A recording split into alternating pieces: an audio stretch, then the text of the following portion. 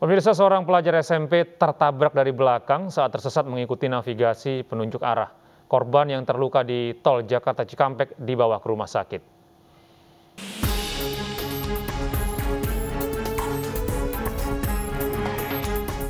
Dari video amatir warga, seorang wanita yang merupakan pelajar sekolah menengah pertama tergeletak usai tertabrak mobil di kilometer 800 tol Jakarta Cikampek, Jakarta menuju Bekasi.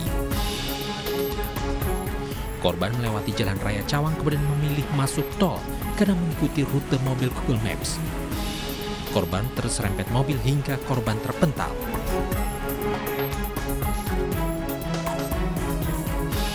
Sebenarnya udah lama tinggal di Bekasi, cuman pindah ke Depok ya.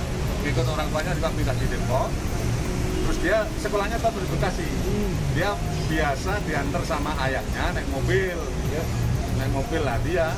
Tiba-tiba uh, jam setengah enam itu udah berangkat dari Depok, dibilang ayahnya tadi. Itu naik motor, jadi yang dipakai itu Google Map-nya Google Map mobil. Hmm. Tapi dia naik motor, makanya dia masuk ke tol itu.